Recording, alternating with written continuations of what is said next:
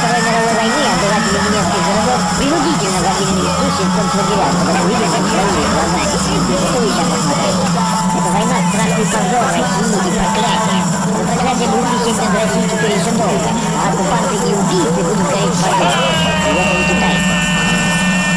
Очень что мы слышим.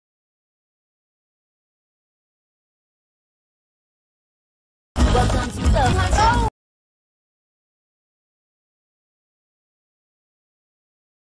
I gave you 12 pounds. You're a bum.